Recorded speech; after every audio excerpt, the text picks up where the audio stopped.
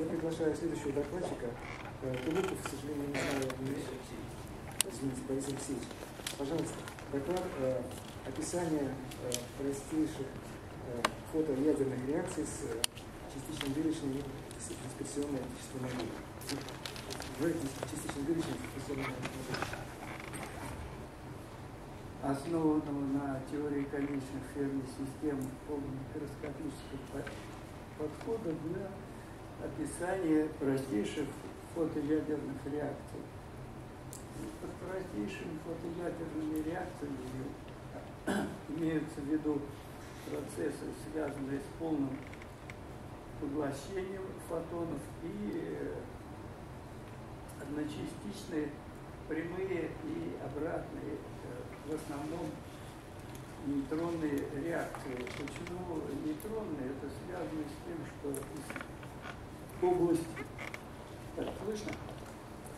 Область исследуемых энергий включает э, не только область широко, хорошо изученного гигантского дипольного резонанса, но также и область изовекторного квадрупольного резонанса, который в фотоядерных реакциях практически не наблюдаем. Его полное сечение составляет несколько процентов от полного сечения э, фотопоглощения в области гигантского дипольного резонанса. И хотя изовекторный квадрупольный резонанс находится на высоком хвосте гигантского дипольного резонанса, он практически не заметен. Я покажу дальше несколько фигуры, вы увидите, что вклад его исключительно мал. И э, те исследования, которые были направлены на изучение возбуждения изовекторного квадрупольного резонанса в фотоядерных реакциях, они были связаны в первую очередь с исследованием реакции с нейтронами, поскольку в случае нейтронов их взаимодействие с квадрупольным полем практически равно нулю, и поэтому все эффекты, которые проявляются в реакции, они связаны с возбуждением именно изовекторного квадрупольного резонанса. А в случае протонов там помимо индуцированного поля есть прямое поле, и поэтому, так сказать, разделить эффекты, которые связаны а, с возбуждением изовекторного квадрупольного резонанса, не очень легко. Ну, вот здесь, так сказать, изложено краткое описание этого а, полумикроскопического подхода. Но почему он полумикроскопический? По той простой причине, что часть кстати, э, ну, эффектов э, рассчитывается на микроскопической основе, а часть эффектов, которые, скорее всего, принципиально невозможно вычислить на микроскопической основе, это вот то, что связано так называемым фрагментационным эффектом или э, связью входных частичных дырочных состояний э, с многочастичными состояниями, она не может быть рассчитана микроскопически. Поэтому она рассчитывается, так сказать, феноменологически, и, соответственно, мы имеем полумикроскопическую теорию. Так, ну здесь вот представлены схематические основные уравнения, которые это и скаляр минус изовектор.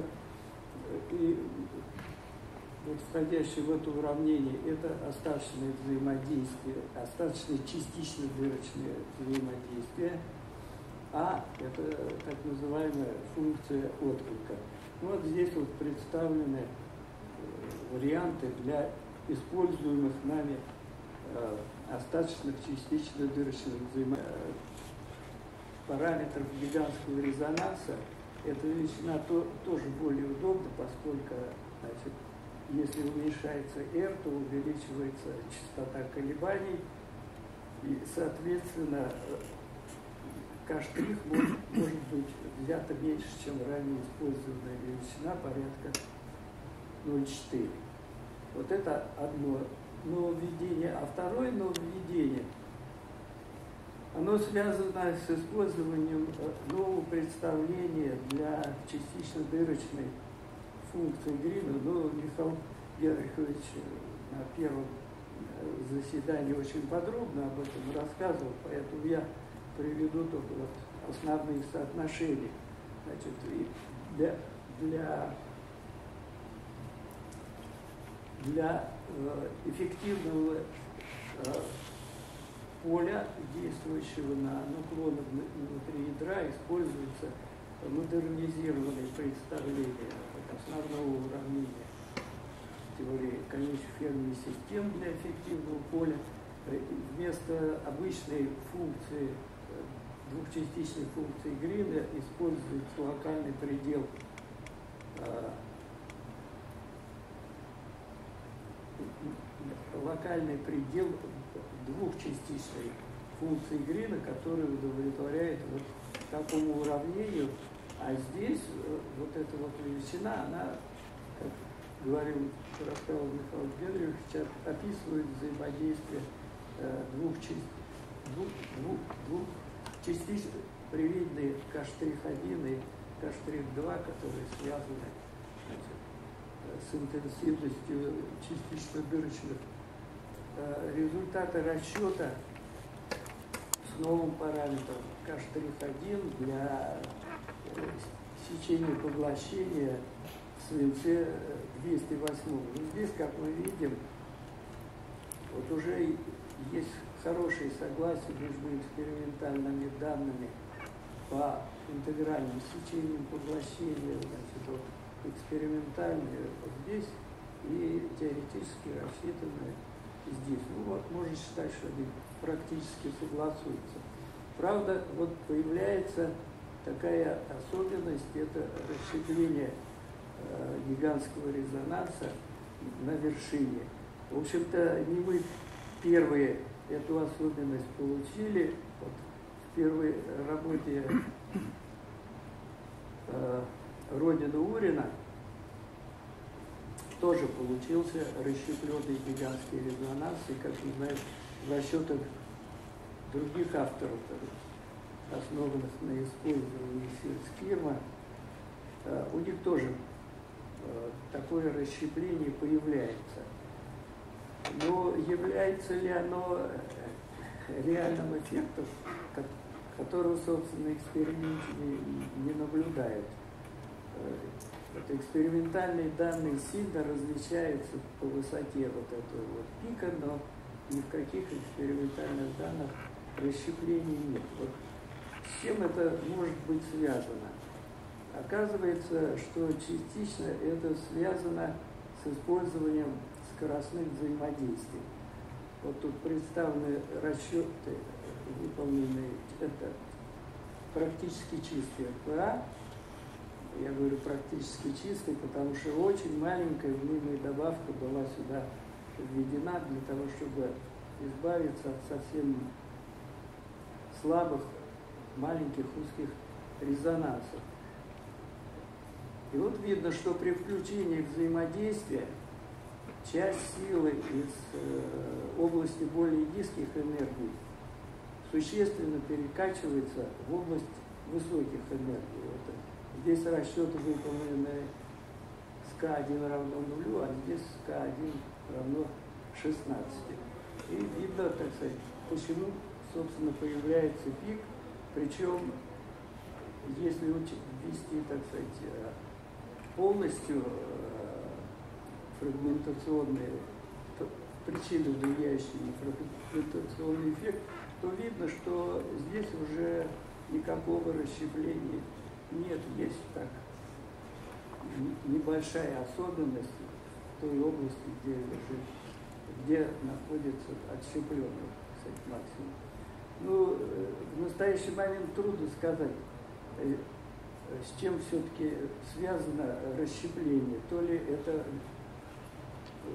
результат введения скоростных сил, то ли это э, потен, свойства потенциала, потому что вот в одной из предыдущих работ, выполненных с такими же силами, которые, скажем, использовали мы, а, там нет расщепления, но там опять нет э, правильного соотношения между вычисленным и экспериментальным интегралом.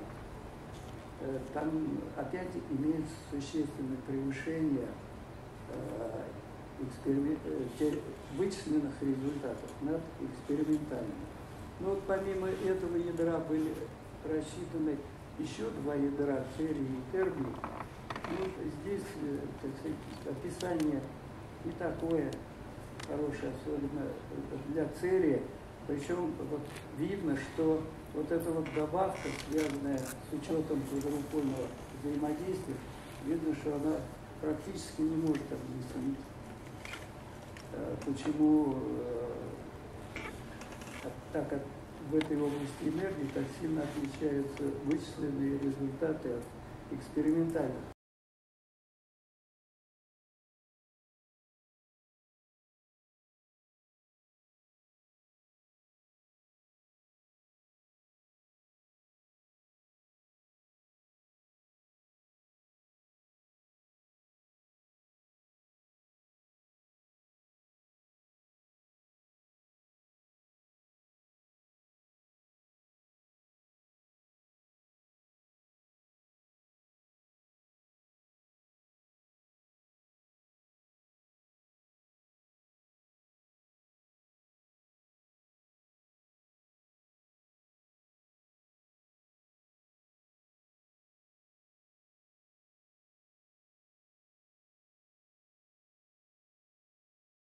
Я э, с описанием того, что получено в области изовекторно-квадрупольного резонанса, да, это асимметрия для Бисмута 209, ну, тут довольно хорошее описание.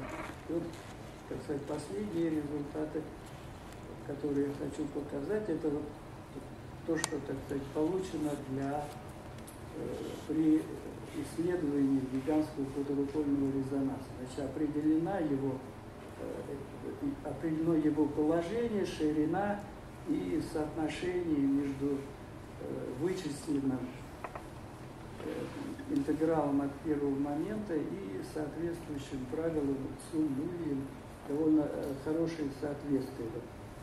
Аналогичные результаты получены также большой группе работ, которые используют так называемую DSD-модель, предложенную Брауном еще в прошлом веке. Вот. У них там э, тоже, э, у них, я бы сказал, даже иногда описание лучше, чем в предлагаемом методе, но все дело в том, что в этой модели используется как минимум 9 подгоночных параметров. Поэтому, имея 9 подгоночных параметров можно, естественно, получить лучшее описание, чем э, то, что используем мы. У нас всего три подгоночных параметра. Вот. Ну, на этом я заканчиваю. Благодарю за внимание. Спасибо.